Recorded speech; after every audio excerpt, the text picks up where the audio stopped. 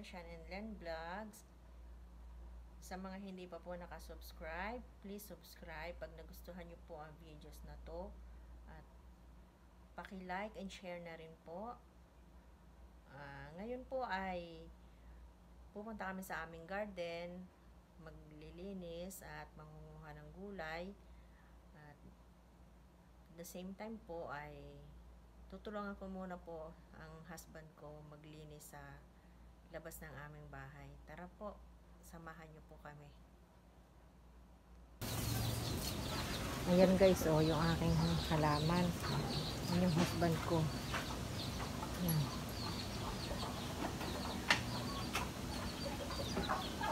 Mayana. Yan. At ito rin po ang puno ng chiko. Masipag din po yan bumunga. Ayan po, oh. Marami siyang bunga. Kita niyo po ba? Yan. Meron din po akong grapes. Ayan. Kaya lang, pinuputol ko na po yan kasi masyadong malago. Kung saan saan nagpupunta yung baging niya. At ito po, kalamansi. Yan. Napakasipag po bumunga ng kalamansi na yan. Tingnan nyo guys, oh.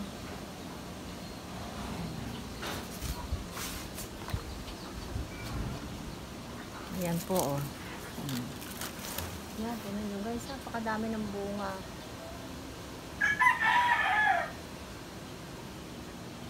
Sipag po talaga yan bumunga. Hmm. Yan. Ito po puno ng niyog. Ayan po, mayana pa rin. Yan po yung ating mga malalaking bugambilya. Ito pong puno ng niyog na ito, binili ko po yan ay New Year. Hindi ko na po itinapon, itinanim ko na lang dyan sa paso. Dalawa po yan. Ito pa po yung isa. Nag-iipon po kami ng tubig, kaya marami kami drum kasi pagka minsan wala pang tubig. Mahirap pag walang tubig. Ayan pa po yung ating bugambilya. Yan. Yan po ang mga halaman.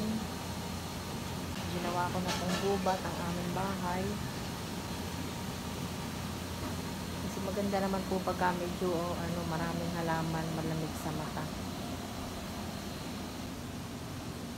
Ayan po ang ating mga bulaklak. Bugambilya. Nag-i-start na po siyang mamulaklak. Actually po yan, pinapalagas ko talaga ang dahon para po pag nalagas ang dahon, marami po siyang bulaklak. Mamaya guys, samahan niyo kayo. Punta po kami ng garden.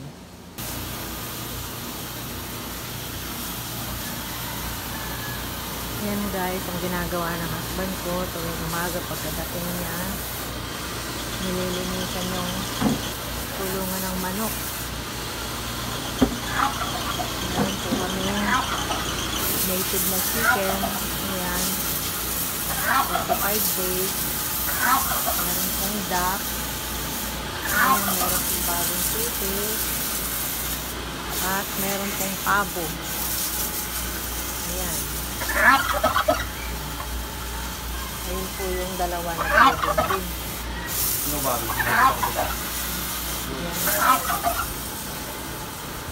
Meron pa po dito. Ayan, naglilunlun din po. At ito. Ayan. Ayan po yung aking mga gulay. Ito, akin pa rin po yung mga halaman na yan. At ito po ang ating mga gulay na nakatanim sa bote. Yan. Yan po ay karwas, kaya merong drum. Yan yan po ang ginagawa namin tuwing umaga.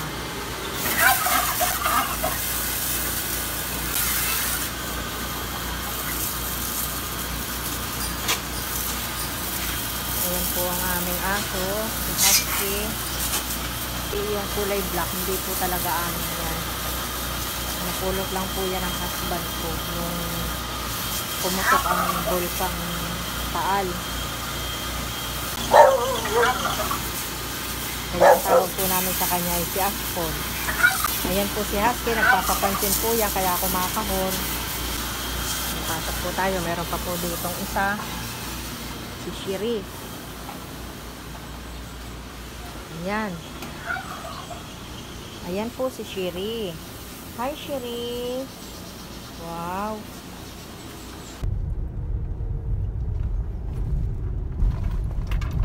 Puno naman. Yan, malapit na kami sa garden, guys.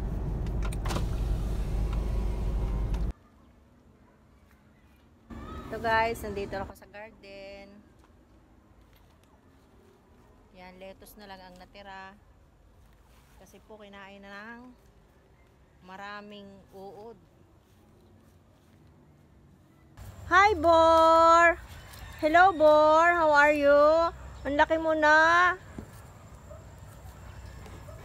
Ayan po yung mga kambing. Nasaan na yung iba? Saan na yung iba? Me? Hello? Bor, ang bango mo ha? Mm. Ah, ayun.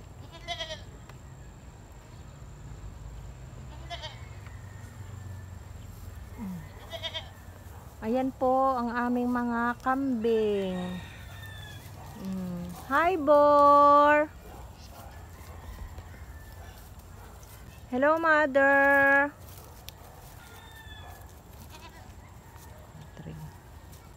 Yan po ang aming alagang kambing. Me! Me! Tinan mo naman papansin. Mm.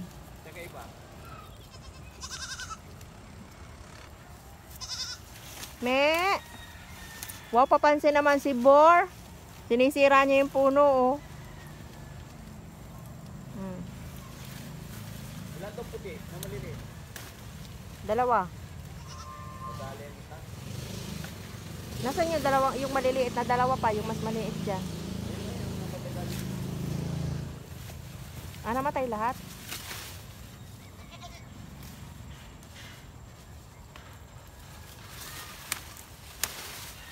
Wow, ang matcha ni Bor, nagpapasikat. Yan guys, lettuce na lang yung natirang gulay. At saka yung aming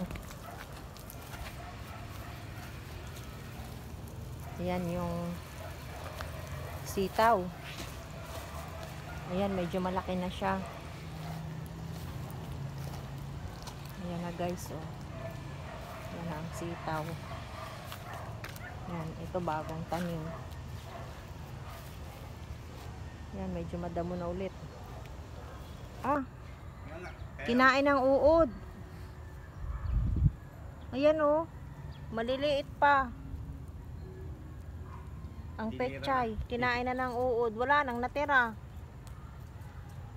Doon sa lettuce wala rin. Ang dami pa naman ng lettuce na yon. Wala man lang natira.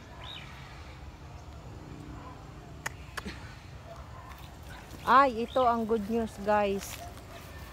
Yan, hindi hindi yata ito na cultivate. Ay, nalanta yung isa oh. Pipino. Yan. Oh, medyo malaki na yung pipino. Ay, naku pa. Nalaglag na ang papaya. Kukunin ko na ito.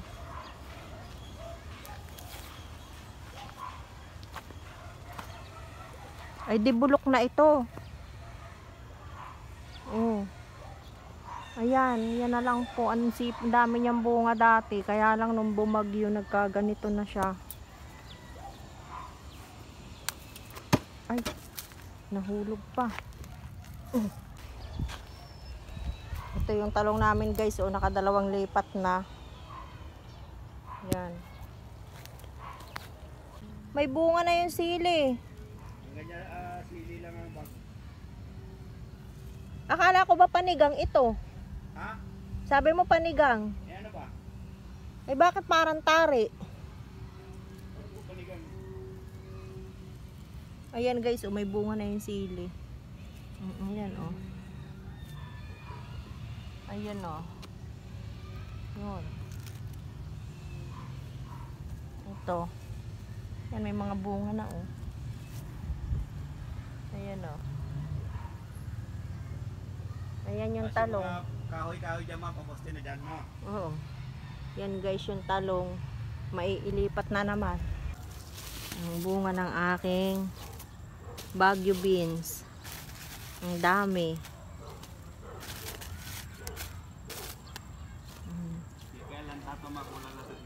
Ayan oh. oh. Ayan, mayroon pa pong mga maliliit.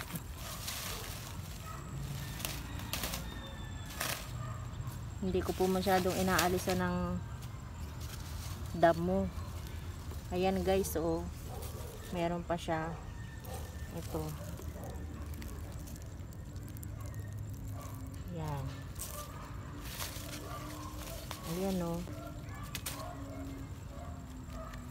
Ang lalaki na.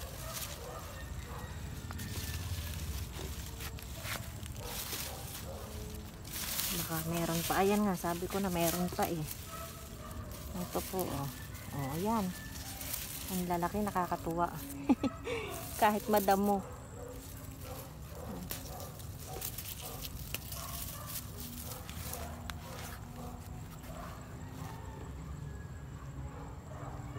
Ito po yung aking sitsaro.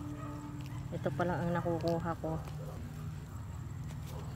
Ang daming bunga, nakakatuwa.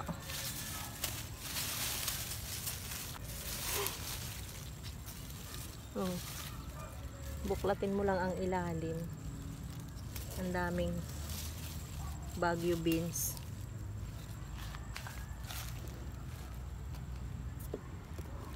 Ilang puno lang po yan.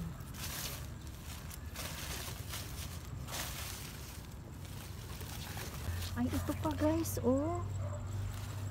Ayan. Lumusot na siya. Oh. Lumusot sa bakod. Nakakatuwa. Ayan na, oh. oh. Guys, nakauwi na kami galing sa garden. Ito po ang aking mga nakuha. May lettuce, sili, Baguio beans, luyang dilaw, secharo, at saka papaya. Ayan po, maraming salamat sa inyong panonood. Huwag niyo pong kalimutang mag-subscribe, mag-like, share, at i-click ang ating bell button. Thank you po. Bye-bye. God bless us all.